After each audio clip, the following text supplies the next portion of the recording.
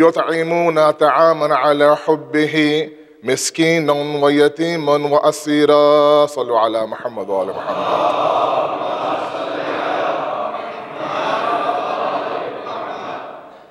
First of all, on behalf of myself to all of you, the Imam of our time, we send our condolences on the Shabi Shahadat of our second Imam, Imam Hassan al Mushtaba alayhi salatu wassalam.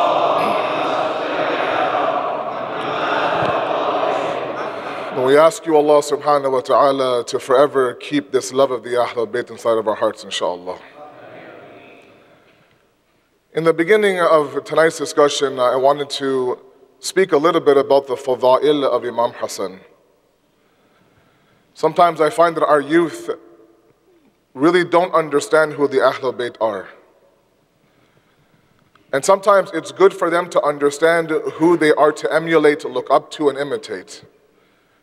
It's important that we talk sometimes about why they are the Ahl al-Fada'il, why they are the people of distinction, why there is so much importance given to the Al of Muhammad sallallahu.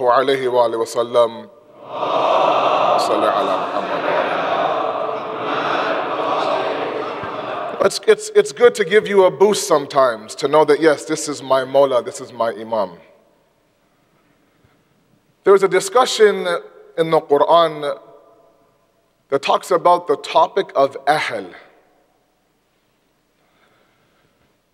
And a distinction is made between the members of the family of one individual and the Ahl of that individual.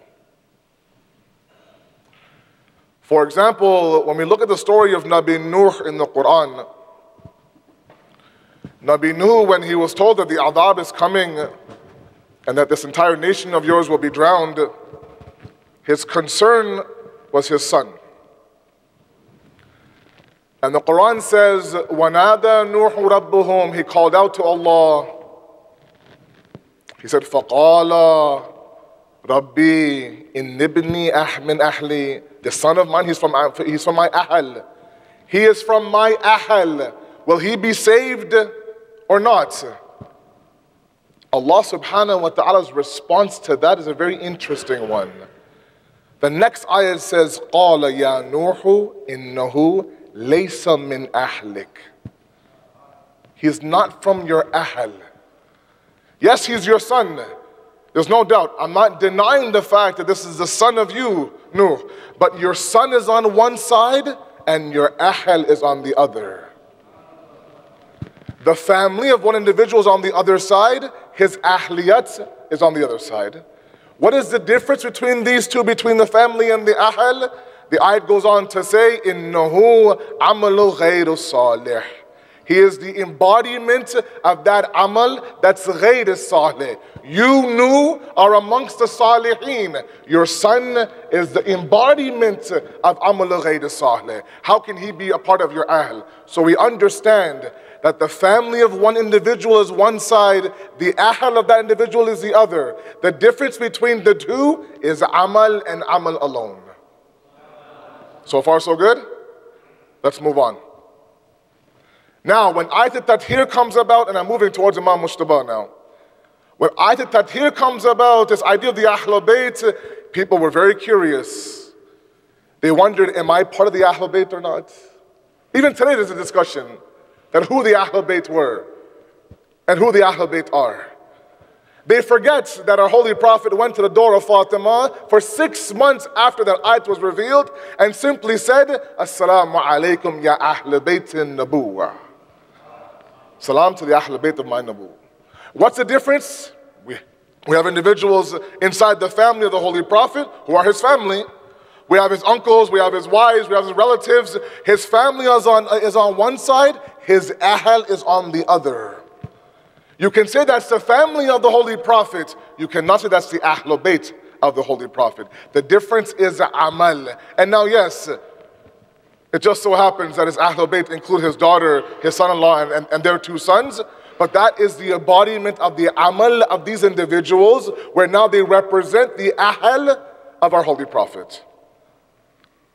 We come to the famous tradition now after understanding what ahl is and what family is, correct? Let's come to the tradition. Hadith says what?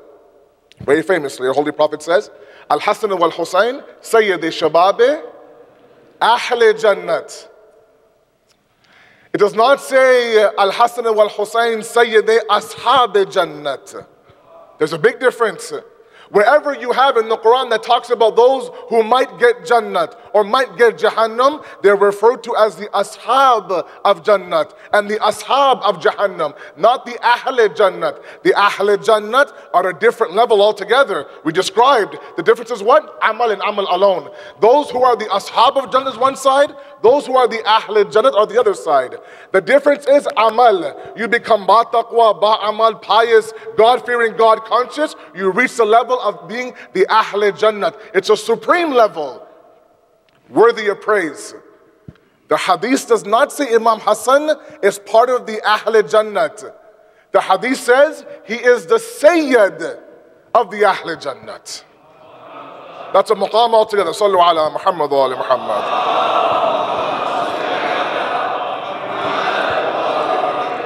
The words of the Holy Prophet are chosen very carefully.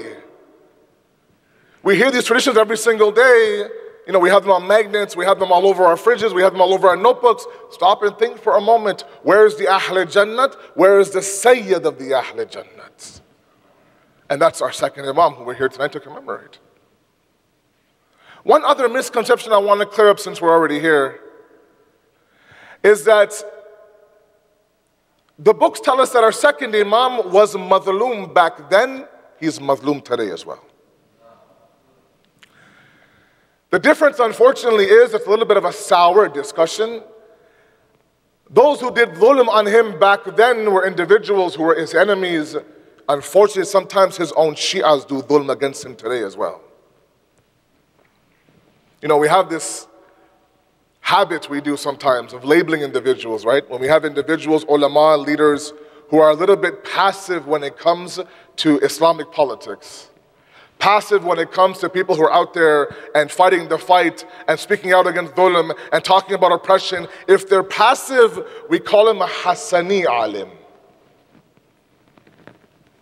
If he's active, he's out there talking, chanting, protesting, mashallah, he's on the media, we call him what? A Husayni alim. Almost as if to say, na'udhu billah, almost as if to say that if Imam Mujtaba existed on the day of Ashura, he would not have done what Abu Abdullah did on the day of Ashura. He was not able to do what Imam Hussein did. That's not dhulm? Absolutely. We don't believe in darajat of the Imams. That darajat exists in Nabuwat, not in Imamat. We have in Nabuwat 124,000 prophets. Of those thousands of prophets, five ulul azam. Of those five, the greatest being our Holy Prophet Muhammad Mustafa sallallahu alayhi wa sallam.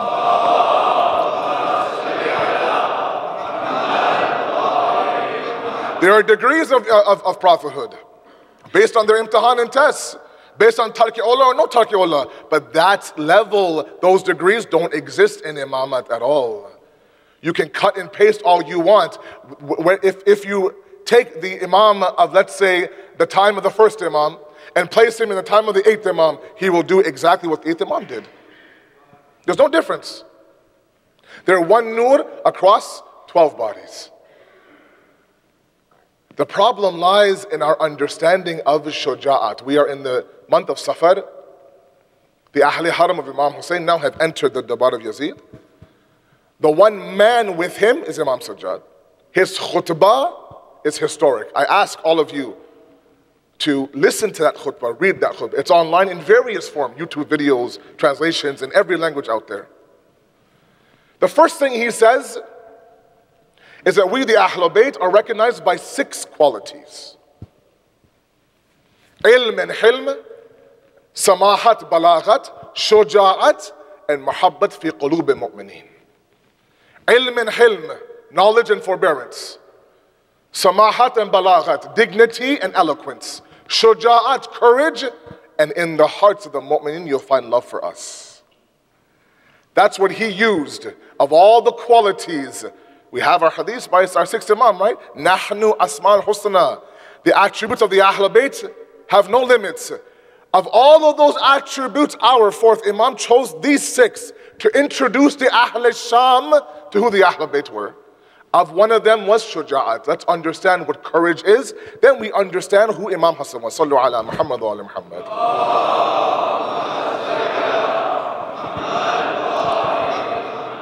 Courage has nothing to do with the amount of people you kill. First statement. In Islam, shuja'at ash-shaji, a courageous individual, has nothing to do with bloodshed. We believe that the faster the sword goes, the more courageous the person is. We believe that the more bodies he kills, the more courageous he is. Courage has nothing to do with that and has everything to do with zaman and makan, time and place. Meaning, the courageous one is that individual who reads the zaman and makan he lives in and does what Islam is expecting him to do, even if that's against his own nafs. Understand that definition, please. Amir al-Mu'mineen, when he was with the Holy Prophet, the Prophet of Allah was in this world, he was part of almost every single war, except for maybe one or two. Was right there in the front line. 70 of the kuffar he killed in Badr. Khandaq, Khaybar, mashallah, you've heard it all. After the Prophet left this world, the next time Ali pulled out his Zulfiqar was during his Khilafat. Three civil wars. Jamal Siffin, Nahrawan. 25 years, Zulfiqar remained closed. He didn't pull out his Zulfiqar. And yet, if you read Khutbah Shaqiyya, you'll know probably the most difficult era of Ali's life were those 25 years. A pricking in my eye, he says, and suffocation in my throat. The old died, the young became old. I sat here waiting for my God given right to be given back to me. It didn't happen in the state that Abu Sufyan comes to him says, Ali, you know that this khilafat is not the mal of those guys. Bani Hashim are the people who deserve this khilafat. You just say the word. Me and my boys will come and deal with it. We'll get your khilafat back. No worries. This was Ali's God given rights. But he realized at that time, the Zaman and Makan didn't require me to pull the Zulfiqar out. In fact, if I pulled the Zulfiqar out, it would have been a civil war in Islam. Islam being an infant at that stage, Islam would have been Nabud, Nis, completely destroyed. His courage was Ali's silence across, across 25 years. Understand that for a moment. look at Imam Hassan Mujtaba's life. Many people say, how can he do, do, do sulh with someone like Muawiyah? He gave his khilafah to someone like the son of Abu Sufyan. How is that possible? Again, Imam Hassan knew that if he didn't do that, Islam would have been destroyed. You think it was easy for him to watch someone like Muawiyah become the Khalifa of the, uh, of the Muslim world? And yet we see individuals time and time again where the Zaman is asking you to do for Islam and maybe against yourself. That is the most courageous individual out there. Imam Mujtaba, his courage is unmatched in history. The era he lived in, the difficulty he went through, all of that to safeguard the deen. And it was his own individuals around him who would ridicule him, who would pressurize him, who would approach him and say, How can you deal with someone like Muawiyah? These were the same individuals who couldn't identify that that Quran on the spear in Muawiyah's camp is one and this Quran Natiq of Ali is another. They couldn't identify the fact that do we fight the Quran, do we fight Ali and Siffin? They would complain to Ali, are we at war with you? Or are we at war with the Quran? And then Ali says, Ana Quran Natiq. I'm the real Quran, the true Quran, the speaking Quran. Identify who I am. And no, those things are, on spears have nothing to do with Islam. They're pieces of paper. If you're not able to identify the difference, you'll be lost. He calls Malik Ashtar. Malik, come back. Malik says, Mullah, give me five minutes and this war is done. He says, In five minutes, your Mullah won't be here. They've surrounded me within my own camp in Siffin because now they think I'm fighting the Quran. Those people were the same people who couldn't understand how Imam Hassan al-Mujtaba could give up his khilafat against someone like Muawiyah. The courage of our second Imam was just that. He did what was best for Islam, even if it meant giving away his own khilafat. Sallu ala Muhammad wa ala Muhammad.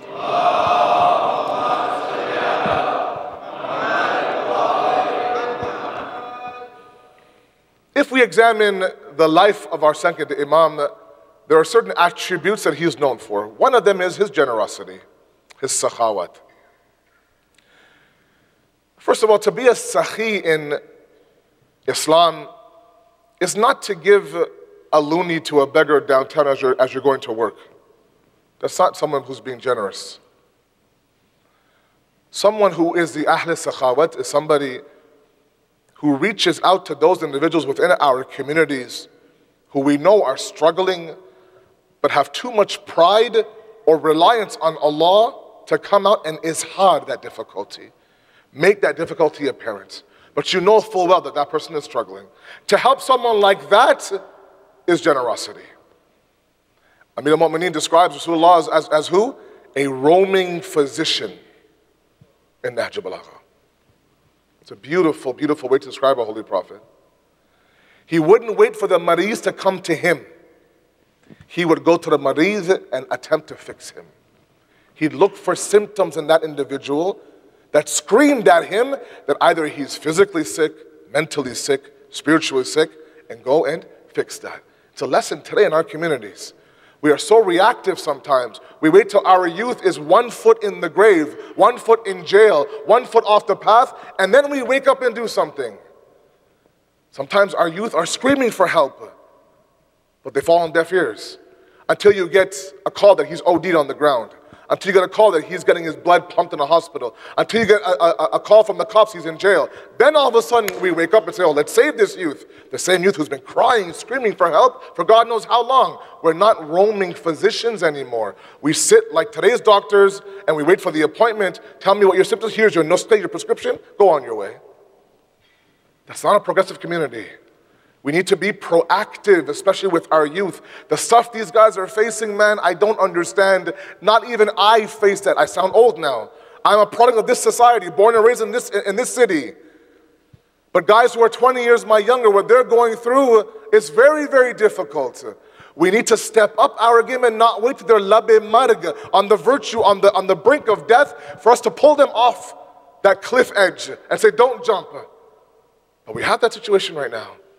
We have to be roaming physicians, be it our leaders, our elders, our youth, those of you who are psychologists, those of you who are in social workers, begin, to, begin now to make that step where now we can save a youth before getting to the area where now he starts to talk about drug abuse and suicide and hopelessness, begins to have shak about his religion, begins to doubt the Ahlul Bayt, begins to do bid'at when it comes to our deen. These things are real issues right now uh, uh, amongst our youth. And as elders, it's our responsibility now to go roaming around the community and do whatever we can to help these individuals. It's very, very important. His generosity, Imam Hassan al-Mujtaba's, was such that he would seek out the poor. He would sit with them in their dwelling and eat with them. This dastakhan of Imam Hassan that sometimes we have in our GTA here as well, in certain Mamonese homes, that's in tribute to the fact that when he would go out and seek the poor, he would first of all lower his level to their level, sit with them on the ground, eat whatever they put in front of him, to the point where the ashab says, Mawla, you're the son of Ali, you're the grandson of the Holy Prophet, you're the Khalifa of the time, you're sitting here with them. And he says a very famous statement that if I am to leave this world in this halat and state, I'd be a shaheed in the path of Allah subhanahu wa ta'ala. And then at, at, at, the exact same time, after he would sit there with these individuals, he'd open his door, put the sakhan out, and invite whoever and everybody into the house to eat from his barakat. His generosity was unmatched. His generosity came from his childhood. And this is where I want the crux of our discussion tonight to happen. Sallu ala Muhammad wa ala Muhammad.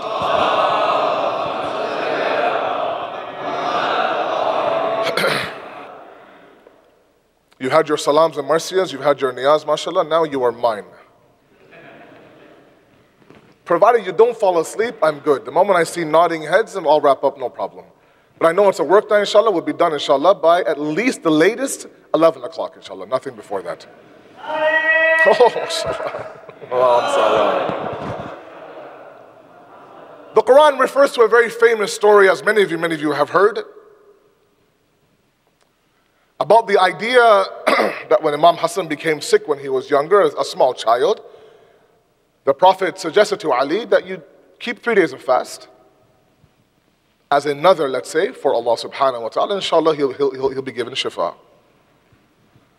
The ayat I read for you in the khutbah points to this idea in Surah Al Insan.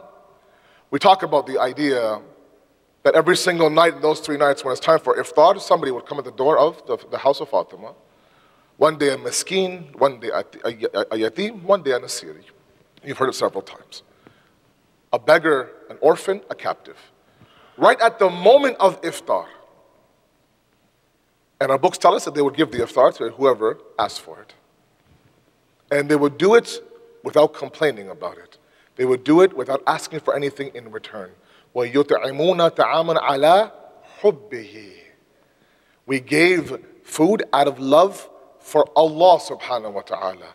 To a miskeen, a yatim, an asir, إِنَّمَا نُطْعِمُكُمْ لِوَجْهِ اللَّهِ وَلَا يُرِيدُ مِنْكُمْ جَزَاءٌ وَلَا شُكُورًا Beautiful verse. Sometimes it's important to ponder on those verses we've heard since we were this high. We gave out of and for the wajh of Allah the essence of Allah, the spirit of Allah, the essence of the, the, the of Allah. And wala nuridu minkum, we don't ask anything from you. We don't want anything from you. Not jaza, not shukr, not a reward, not even a thank you. We want nothing in return. Sometimes people like me, we give and we wait for a thank you. We donate and we ask, will, will I be given a receipt for this donation? It'll be a broken toaster a leg that, a, a, a, a, table that has three legs instead of four. We'll empty our garage out and give it to, let's say, a Bathurst fundraiser, and then we'll ask Mahbuba, is there a receipt for this? Oh, but it has two legs. You, it's not even functioning properly. You want a receipt for that? Yes, I do. Where are we and where is wala nuridu minkum? I don't ask for anything in return. Who's watching this? A very young Imam Hassan Mujtaba. And the effects of that we see later on in life when he would open his doors. Three times in his life, our second Imam gave half of his belongings away to the poor. Three times. And why do you, you might ask, why not all of it? Well, we have hukum that says that that's dhulm against yourself. You keep half for yourself, you keep half for others. You have to still survive. So this generosity we see of Imam Hassan al-Mujtaba comes from the effects of his home. And that's where I want to speak tonight a little bit about the effects of an Islamic family value system inside of your home. We live in a society that continues to get worse and worse and worse. We live in a society that challenges our youth every single day. We don't have any control over what happens outside our four walls of our home. We have every bit of control what happens inside the four walls of my home. If we are not giving our youth the deen, the madhab, that religious motivation inside the four walls, and we're expecting them to get it outside the four walls, it's not going to work. The Quran refers to the philosophy of tribes in Islam. It's a very beautiful discussion. يا أيها الناس بسم الله الرحمن الرحيم يا أيها الناس إنا خلقناكم من ذكر وأنثى Again, very famous verses I'm giving your way. We have created you from man and from woman. وَجَعَلْنَاكُمْ شُعُوبًا وَقَبَائِلًا لِتَعَارَفُوا We have placed you, we have done so. We've given you the essence of placing you in nations and in tribes. Why? So you can know each other. إِنَّ أَكْرَمَكُمْ إِنْدَ اللَّهِ atqakum. Inna Allah alimun khabir. Allah is knowing, Allah is all aware. The only one that has any honor amongst these tribes are those who are the most pious in Allah's eyes. Let's examine this for a moment here. The tribes that existed all over Mecca and Medina before the Holy Prophet arrived with Islam were tribes that were based on geography, language, or sometimes based on uh, their ancestors. Now, certain qualities of the tribesmen were such that they were very loyal to their tribes. They would defend their tribes. Nothing was above the tribe. If you were a member of the tribe, you were known as your tribe. If the tribe required you to go give your life, you'd give your life. If the tribe required you to go take a life, you take a life.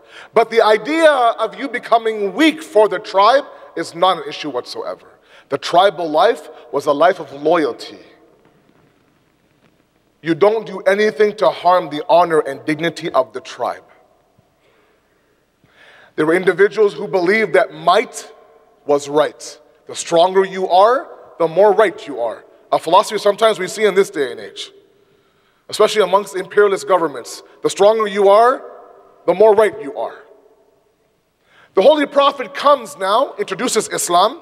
I really want you to follow this for a second. Introduces Islam and says, Those of you who are in different tribes, one of the purposes of Islam was to come in and unify those tribes together. Correct? The Holy Prophet would do it sometimes with sulh, with treaties. For example, the very infamous tribes of Khazraj and Aus and Yathrib or Medina, they were at war uh, uh, of each other.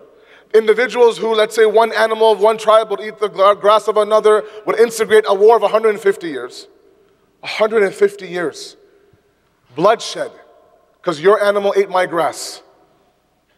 It's jahalat, no doubt.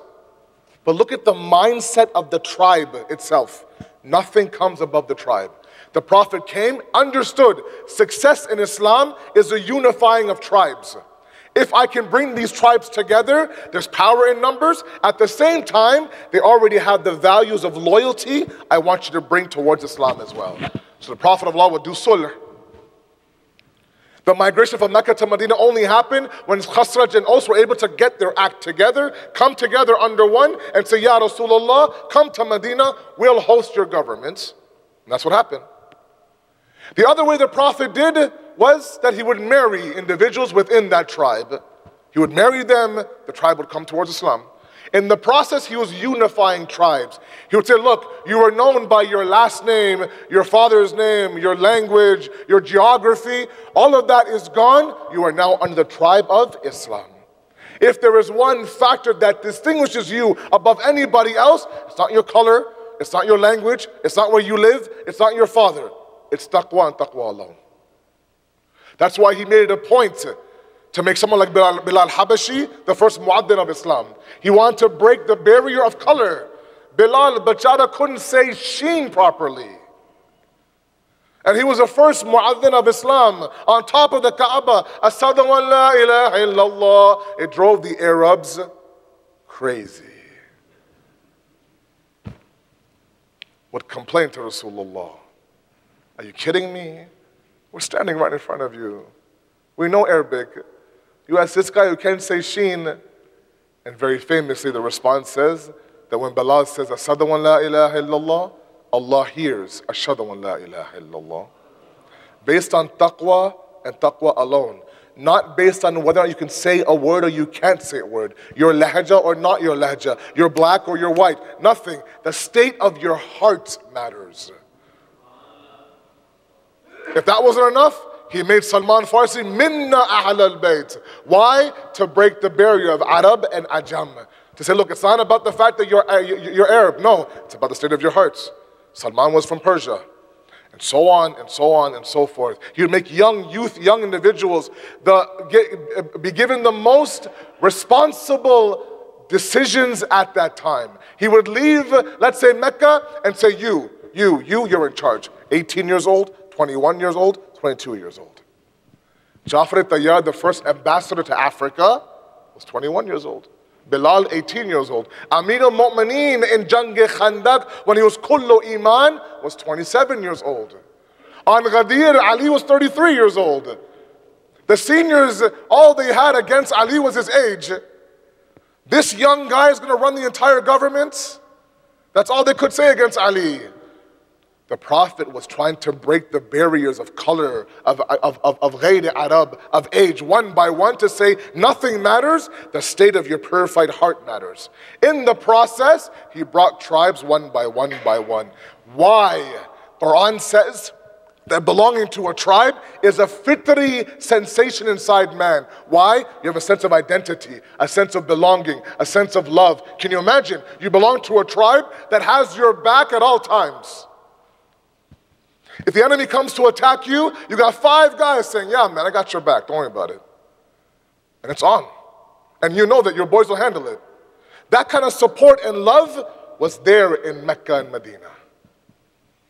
That's why that identity, that love, that support that was in the tribes was brought towards Islam. And the Prophet would say, Look, I want you to leave this idea of you being this person's uh, grandson, that person's grandson. Leave all that, but don't leave your tribal values. You supported them, you support us. You love them, you love us. You defended that tribe, defend this tribe as well. Because those values are very, very important. Today, we don't see tribes per se, but the tribal philosophy very much exists. The Prophet of Allah came to break down walls. And sometimes I feel like we, you and I, are putting those walls back up again. Inside our own four walls, inside of our homes. Our communication with our children has gone down to nil. The only time that a father talks to his son is when he loses his keys or he's late or the son messed up. The only time there's an exchange happening is when the son, the father is yelling at the son. The son enters the house after a long day, goes upstairs, locks his door, and watches YouTube all night. And that's it. A very nice tradition by our, uh, by our Holy Prophet says that sometimes at night, sometimes at night you look up to the sky and you see certain stars are brighter than others and your eyes automatically goes towards those bright stars. The angels equally look down to us and see certain homes are brighter than other homes. And those homes that have brightness are homes with love, compassion, respect, tribal values that we think was in the era of jahalat has to exist today as well. We have to create family harmony today, today amongst our families. Forget anybody else's. We have so much to say about that person's family and that person's family. Baba, look yourself in the mirror, man. Is your son on the right track? Is your daughter on the right track? Do you and your son even talk to each other? Do you even know what's happening in your son's life? Do you have any idea what's going on? Do you know that your son gets high, let's say, every Friday night? No, hamana bacha farishta hai, bhai. Every other child is the devil's child. I was the one, the only one that gave birth to the heavenly child.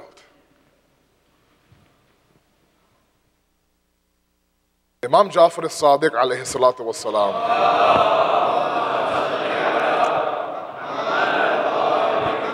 Talks about the levels of tarbiyat, right? Every seven years. That last stage he talks about when the child is over 14, 15 years old. He says he's an advisor for you. An advisor for you at the age of how long? 15 years old. At 15 years old, we don't even trust the kid to take a proper phone message sometimes. Right? When your friend complains that I've been calling you, I talk to your son, what the buddhu, he has no idea what's going on. Islam says no, he's intellectually mature enough to get this idea that you can advise him and seek his advice if need be. How many of us do that as parents? When you make big decisions at home, this is all family life in Islam, by the way, and it requires an entire series, a whole ashra, one day, someday, inshallah. It's important nowadays. We have situations right now, we have domestic issues right now in our homes. Our divorce rates are a whole different issue. The fact that our fathers and sons are not talking to each other, our mothers and daughters don't talk to each other. And that all stems from this idea of the husband and the wife. Imam Hassan's generosity came from the love he saw from his mother and father at a young age. When the Holy Prophet is asking Amir al-Mu'mineen the day after he married Fatima, how did you find my daughter? Tough question, right? Your nikah's done, everything's done. Your sister comes to you and says, So, how'd you find my daughter? What response would you give? The response of Ali is beautiful. He says, I found in Fatima the ultimate travel companion on the path of Allah subhanahu wa ta'ala. A household like that, with itminan, with love, with serenity, with respect for each other, produced the likes of Imam Hassan and Mujtaba, who later on gave everything he had away with so much itminan and qalb, knowing that whatever I give, I'll get back tenfold. Sallu ala Muhammad wa ala Muhammad.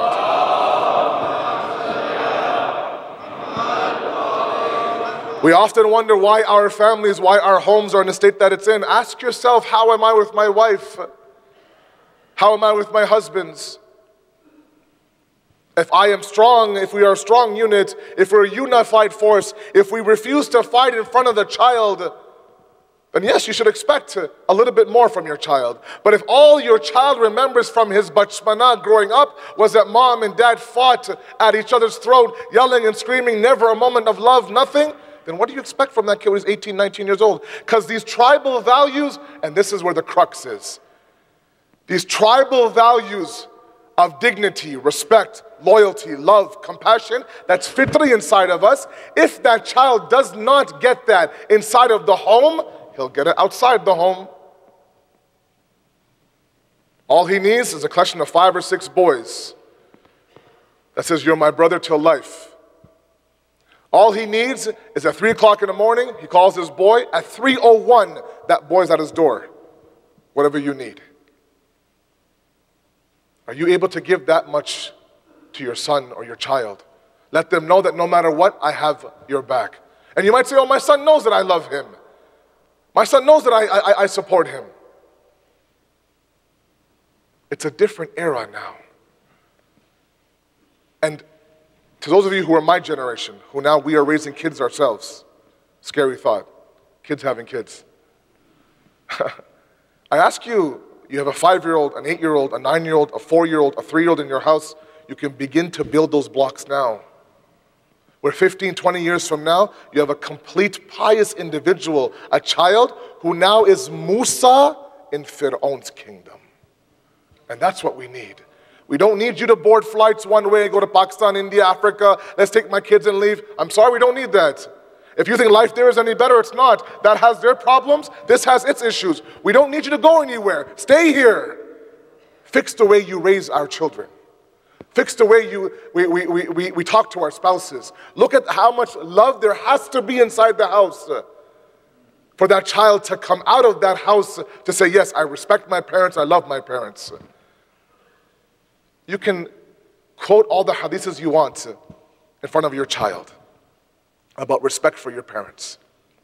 The problem, and it's a problem, no doubt, of this generation, my generation, is that we need that respect to be earned. You say one thing, you do another, that to us is hypocritical. And that's not going to fly. What we need is for you to say one thing and back it up with your actions. What we need to see is a structured family system where mom and dad love each other, mom respects me, dad respects me. If mom and dad are deciding to sell the house, they pull me into discussion and they leave my younger siblings out of it to make it very, very uh, apparent that you are now our advisor at 16 years old. Your nine year old brother doesn't involve in this conversation. He's not old enough. Now you feel like, yeah, mom and dad asked me about moving, man. Now you feel big. You pop your collar, you have a strut, you're good to go. That's when you have this bond happening. When you start to give your kids a little bit of respect. When you start to understand that this child who's 16 years old is a very smart 16 year old. Because the results we've seen in Imam Hassan's life is that his generosity was an embodiment of what he saw growing up in the household of Amir al-Mu'mineen. Sallu ala Muhammad wa ala Muhammad.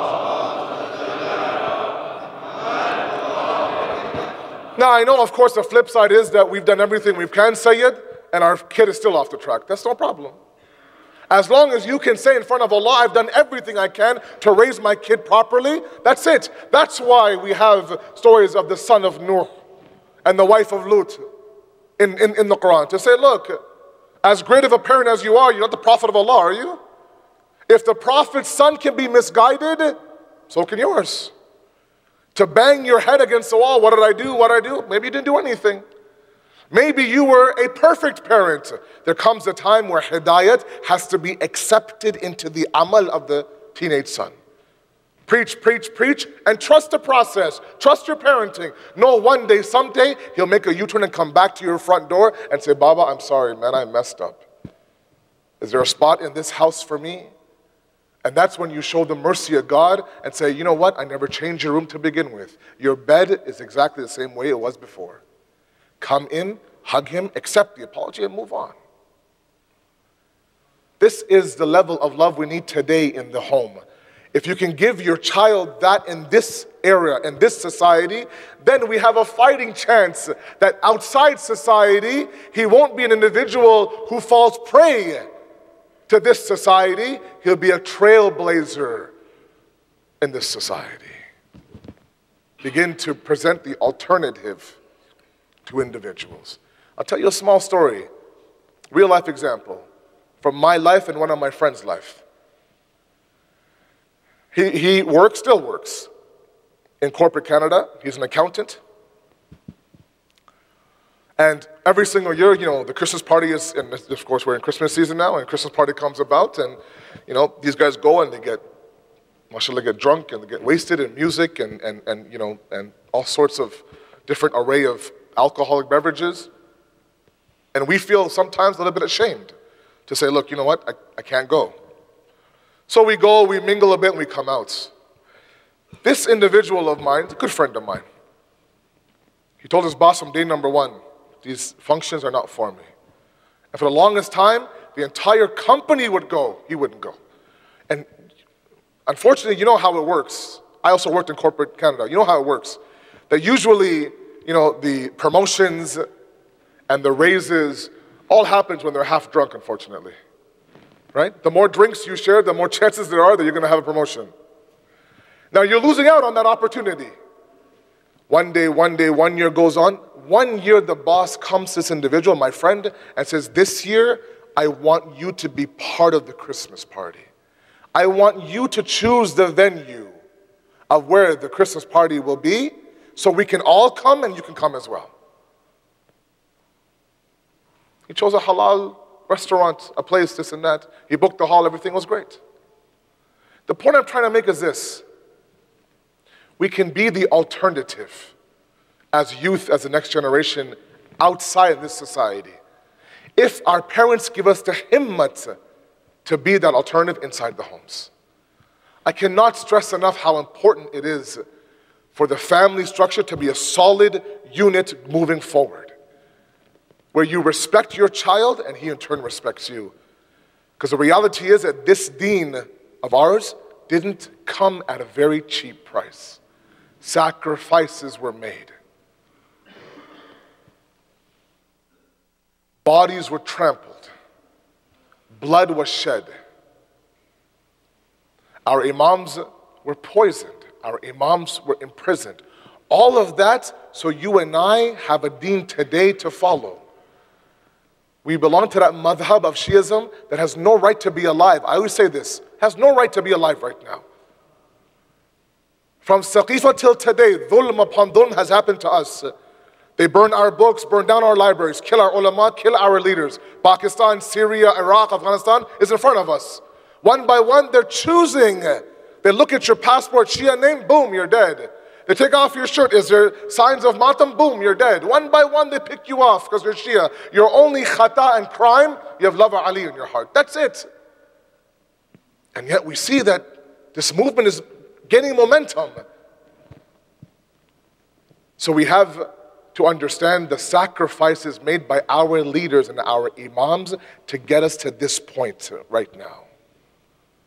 The imam that we are here to commemorate is an imam that was poisoned to the point when the poison hit the grass, the grass began to bubble on the ground.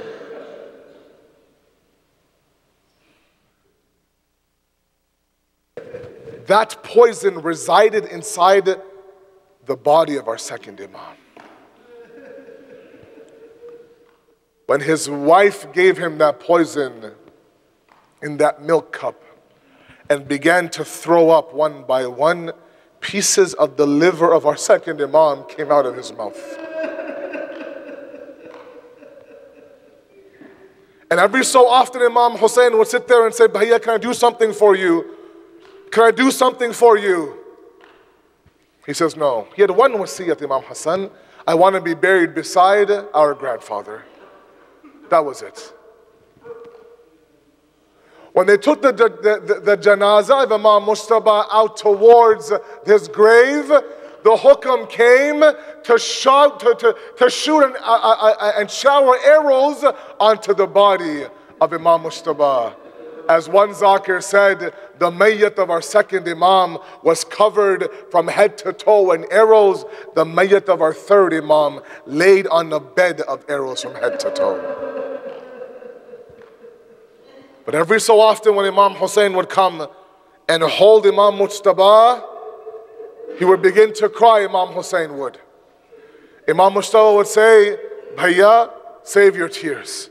My brother, save your tears. And then he would say, La yawma ka yawma ka Aba Abdullah. There is no day like your day, Aba Abdullah. My salams to Imam Mujtaba. No doubt you're buried in Baqi. In Baqi right now, only Khak is left there. But when you passed away in this world, beside you was Imam Hussein. In front of you was Bibi Zainab. Your kids were there. Your family was there. Your brothers were there. Hi Hussein. Asri Ashur. He's only Tanha, alone, Gharib. Nobody left on the plains of Karbala to the point when the smoke cleared and everyone moved away. Bibi Zainab Zainab until Zainabiyah looked at Imam Hussein and said, Anta akhi, this is my brother Hussein, covered from head to toe in arrows. The same Hussein, the same Hussein, when he arrived on the second of Muharram, he talked to the Bani Asad tribe. He said, There'll be a war here. Our bodies will be killed here. Our bodies will be trampled here. If you can, as the men of this tribe, bury our bodies. He then puts up a parda, talks to the women of the Bani Asad tribe, and said, If your men are not able to bury our bodies, all of you women collectively dig one massive grave and simply dump our bodies in that grave. He then went to the small children of the Bani Asad tribe. He said, If your mothers, if your fathers are not able to bury us with your masoom hands, pick up the khak of Karbala and simply dump it on our bodies. But Imam Hussein, wasn't given that right at all. When Bibi Zainab was told it's time to go towards Kufa and Sham, she asked Umar bin Saad, Can you take us towards the Maidan of Karbala? One last ziyarat and then take us towards Kufa and Sham. They went towards Imam Hussein's lodge. One Mal'un says in Nafas al Mahmum, he says, I was there on the day of Ashura. I saw everything on the day of Ashura. Every gory detail. I I was there. With my own eyes, I saw.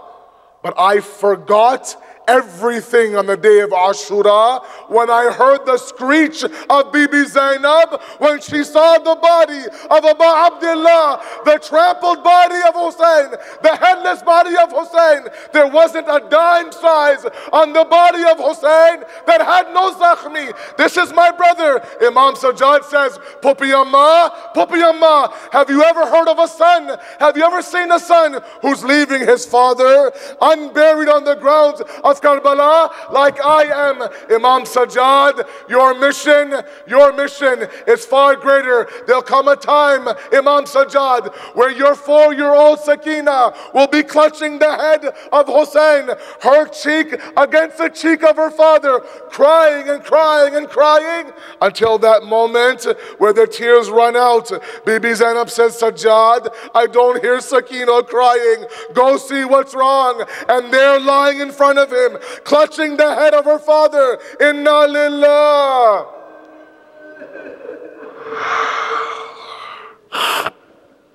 سيعلم الذين ظلموا من منقلب ينقلبون إنا لله وإنا إليه راجعون معتمر